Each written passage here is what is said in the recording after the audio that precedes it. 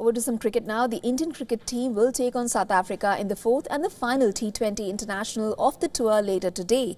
The men in blue have already taken an unassailable 2-1 lead in the series and on the eve of the match, they were hosted by the Consulate General of India in Johannesburg. WION's correspondent Kalden Ongmu caught up with India's T20 captain Suryakumar Yadav. Listen in.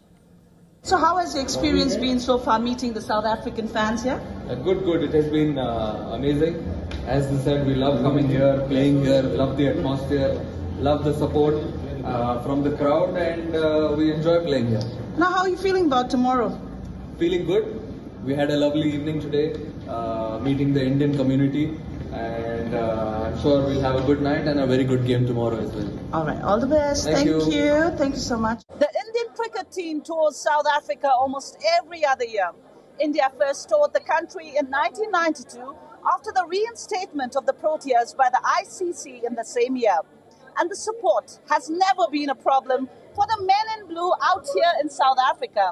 In fact, at most cricket stadiums in South Africa, there are more Indian fans or rather than the South African ones. And that is expected to be the case for the fourth and the final T20 internationals of the series, as well here in Johannesburg. There are around 1.5 million strong Indian diaspora in South Africa, and cricket naturally is something that unites both Indians and South Africans. On Thursday, the Indian consulate in Johannesburg hosted the men in blue at Wanderers Stadium. This is Ongmu from Johannesburg, South Africa. For WION, World is One. For all the latest news, download the WION app and subscribe to our YouTube channel.